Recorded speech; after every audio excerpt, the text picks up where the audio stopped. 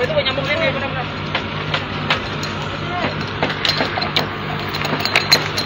Oke pemirsa Banjarmasin Pos Online saat ini saya berada di areal Guntung Manggis untuk memantau kegiatan eh, operasi penanganan kebakaran hutan dan lahan.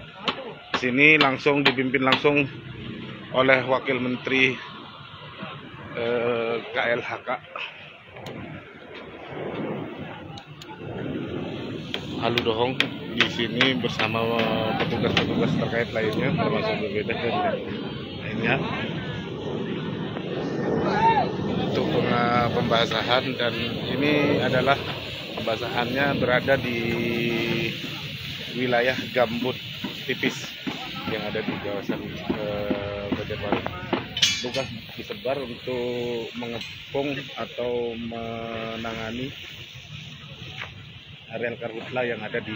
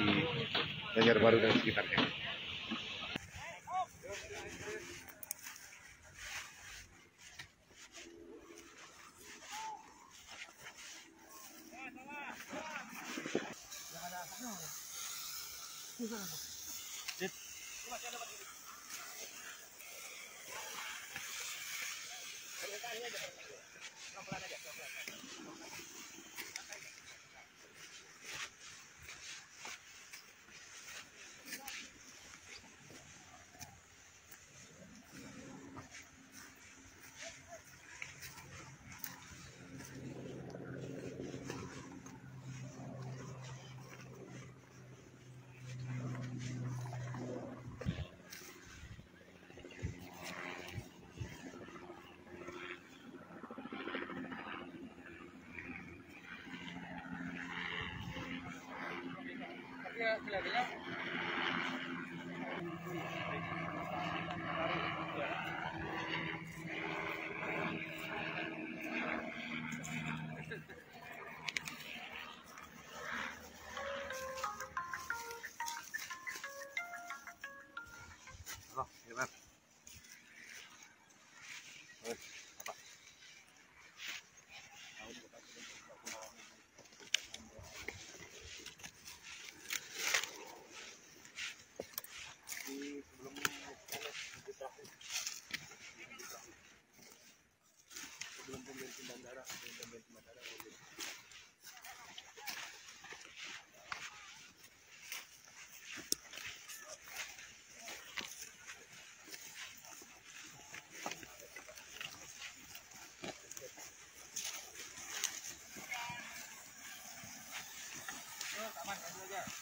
Sudah maksimum lah. Sekarang ini. Ada kawal lagi ya. Dari hari sampai mana? Biar kita ini yang kita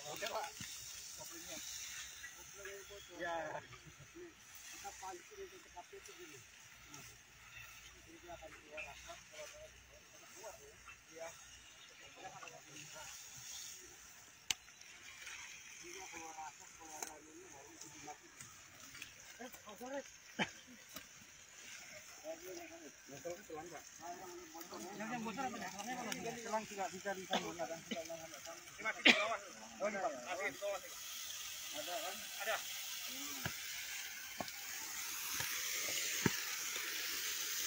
Karena ini timbunan tanah dari gambut kan ini ya. Iya. Gambut di bawahnya mas ini. Iya, Pak. Ah, yang cangkulnya. Ya kami langkul dulu. Ini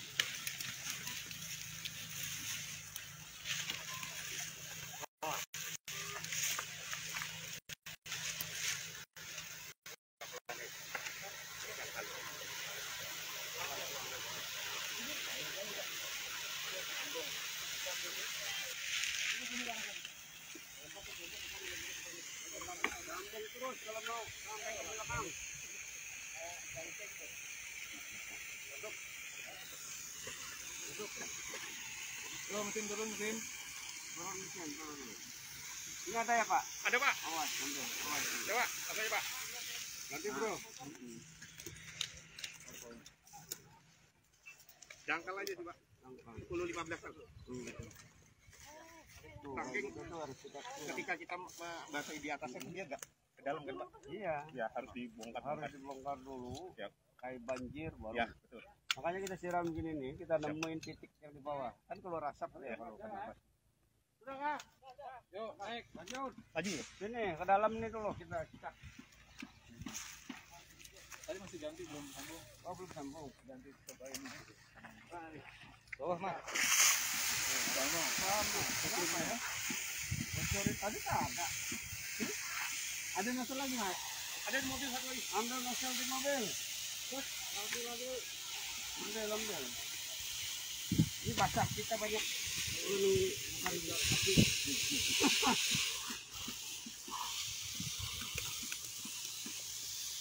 Dan memantau langsung uh, kegiatan pemadaman karhutla yang ada di uh, provinsi Kalimantan Selatan khususnya yang ada di kecamatan Landasan Ulin ya di Banjarbaru ini dan kita saya akan tinggal di sini beberapa hari untuk bersama-sama dengan seluruh komponen jadi Satgas Karhutla Provinsi ada TNI Polri ada Tenggala Agni ada BPBD ada juga uh, unsur-unsur masyarakat bahkan dari pemerintah provinsi, kabupaten, kota. Kita harapkan kita keroyokan ya untuk melakukan kegiatan pemadaman karhutla yang saat ini sedang terjadi di wilayah kecamatan Landasan Ulin ini karena ini sudah kondisi dalam keadaan darurat dan kita tahu ini adalah El Nino dan kita harus berusaha semaksimal mungkin dengan seluruh kekuatan bareng-bareng melakukan kegiatan pemadaman sehingga harapan kita kabut asap tidak menjadi masalah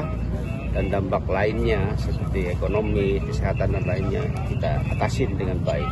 Saya yakin dengan usaha yang bersama-sama dengan keterlibatan semua pihak TNI Polri, seluruh uh, Menggala Agni, komponen masyarakat semua harus bareng-bareng kita perangin uh, kebakaran gambut terutama yang bisa menyebabkan kabut asap yang bertahan lama. Jadi saya sekarang ngawasin Provinsi Kalimantan Tengah, Kalimantan Selatan karena dua provinsi ini empat provinsi sekarang yang agak rawan sekali sedang terjadi karhutla jadi Sumatera Selatan, Kalsel, Kalteng dan Kalbar satunya ya Pak.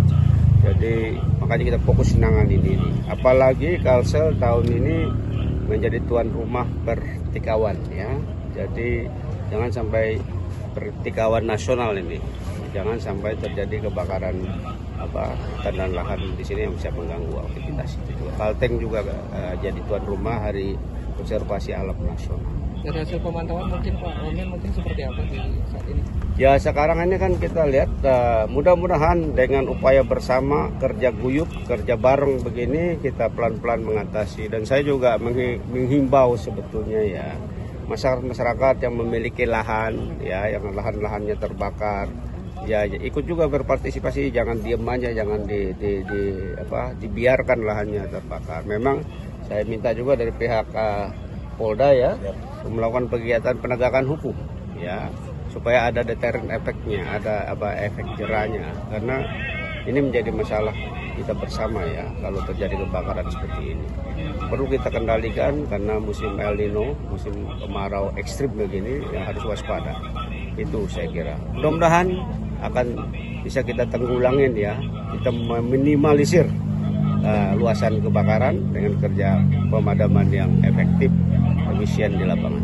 Himbauan mungkin, mungkin bisa disampaikan juga himbauan kepada masyarakat ini kan polusi sudah makin parah terus gimana dengan eh, penerapan masker mungkin gitu. Iya betul. Jadi yang perlu saya sampaikan di sini bahwa ja- jangan dilihat asap itu hanya semacam kabut asap gitu. Sebetulnya konsentrasi particulate mattersnya atau PM dua setengahnya itu tinggi sekali. Kenapa? Gambut yang terbakar itu itu dia me- menaikkan apa terbawa ke udara, ikutin asap uh, dalam bentuk dia abs- bersatu dengan asap. Padahal itu sangat bahaya bagi kesehatan bagi anak-anak balita orang tua bahkan ibu-ibu hamil. Makanya saya imbau uh, masker terus dipakai. Ini maaf saya buka sementara ya supaya jelas suara saya gitu ya.